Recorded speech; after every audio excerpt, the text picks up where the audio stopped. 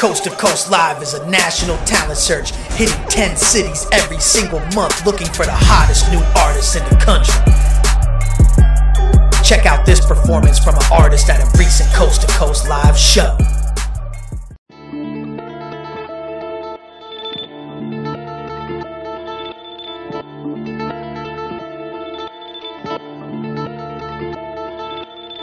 Mr. Valley.